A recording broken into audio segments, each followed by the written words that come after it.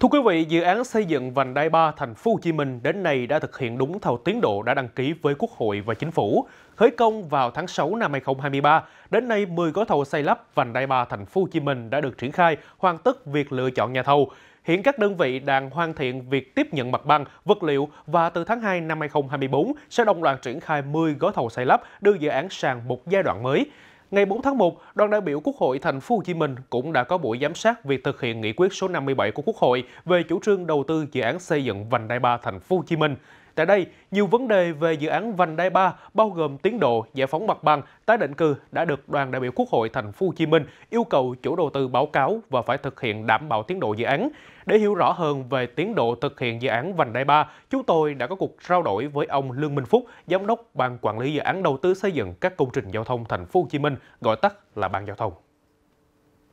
Thưa ông, xin ông thông tin về tiến độ dự án vành đai 3 thành phố Hồ Chí Minh đến thời điểm hiện nay. Um, đến thời điểm hiện nay thì ờ, đối với dự án thành phần 1 thì ờ, dự án đang chuyển sang một cái giai đoạn mới. Đó là toàn bộ 10 cái gói thầu xây lắp của dự án đã được uh, triển khai. À, trong đó ngoài cái bốn gói thầu đã được uh, khởi công giai đoạn 1 thì uh, tất cả các công tác chọn lựa nhà thầu ký hợp đồng và bàn giao mặt bằng cho cái sáu cái gói thầu còn lại cũng đã được triển khai hiện nay thì các đơn vị đang hoàn tất các thủ tục liên quan như là bản vẽ thi công thủ tục cấp phép thi công ờ, công tác vật liệu hoặc thí nghiệm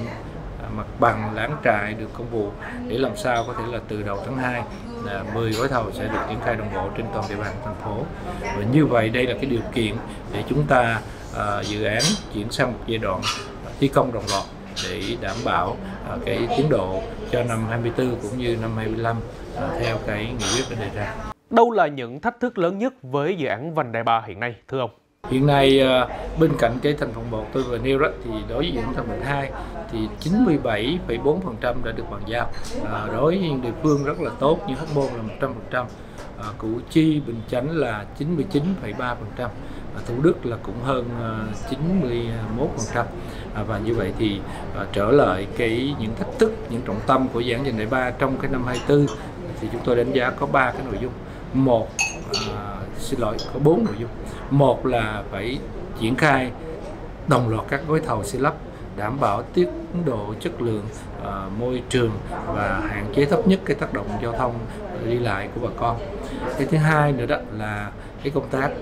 bồi thường hỗ trợ tái định cư. Và chúng ta tuy là cái khối lượng còn lại nó không nhiều nhưng đều là những trường hợp cần có những cái cơ chế đặc biệt những cái trường hợp phải vận dụng những cái giải pháp. Thành ra là à, chúng ta phải tập trung để hoàn tất 100% cái khối lượng bồi thường giải phóng mặt bằng còn lại cũng như tổ chức tốt nhất cái việc bàn giao nền đất cũng như căn hộ tái định cư cho bà con. Cái việc thứ ba đó là giải quyết cái nguồn cát san lấp cho diễn dạy ba đặc biệt là trong năm 2024 là cái năm cao điểm của nhu cầu xử lý nền đất yếu sàn lấp mặt bằng thì ờ, chúng ta cần khoảng 5,5 triệu mét khối cát sàn lấp trong năm 24 thì ờ, trong cái tháng 4 với tháng 2 này thì toàn bộ cái nguồn cát này phải được đảm bảo để ờ, đảm bảo cái tổng tiến độ dự án không bị ảnh hưởng và mục tiêu phấn đấu thông xe vào cuối năm 15 phải được đảm bảo. Thứ tư đó là phối hợp đồng bộ giữa thành phố Hồ Chí Minh và ba địa phương còn lại, đặc biệt là trong công tác các cái thầu xây lắp công tác giải phóng mặt bằng và chuẩn bị cho những cái giải pháp kỹ thuật à, trong cái việc à, khai thác quản lý điều hành thu phí sau này à, như là một cái hệ thống thống nhất xuyên suốt trong toàn tuyến đại ba. Thưa ông, buổi giám sát của đoàn đại biểu Quốc hội Thành phố Hồ Chí Minh có ý nghĩa như thế nào đối với dự án trọng điểm quốc gia vành đai ba? Tôi nghĩ rằng cái buổi giám sát hôm nay ờ, ờ, nó có ba cái ý nghĩa. Một là đúng là một sự kiểm tra đôn đốc ờ, nhắc nhở và xác định được những cái khâu mà chúng ta chưa hài lòng à, chúng ta thấy vẫn còn phải cố gắng nhiều hơn à, thứ hai nữa đó là à, đây cũng là một cái buổi để mà cung cấp thông tin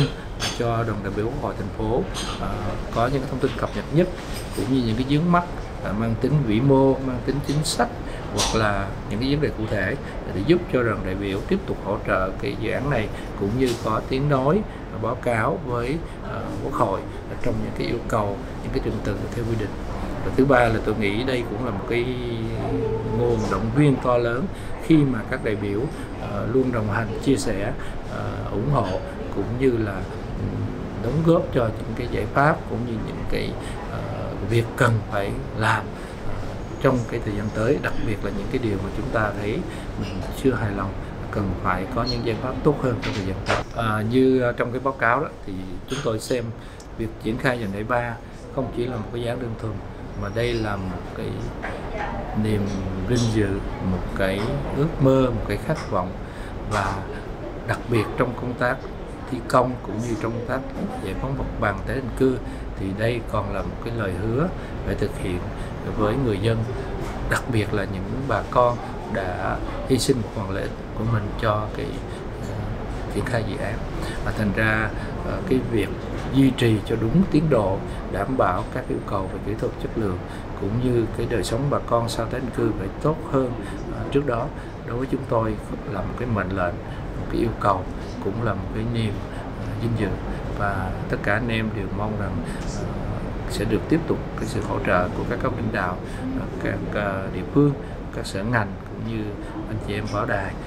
và đặc biệt là bà con để chúng ta hoàn tất được cái mục tiêu đã đề ra. Chúng ta có một cái dự án không chỉ là một con đường mà là một giấc mơ các vùng phát triển, và một cái tâm thế mới, cách làm mới, một cái nguồn lực mới cho thành phố mình cũng như các tỉnh liên quan trong thời gian tới. Xin cảm ơn ông về những chia sẻ vừa rồi.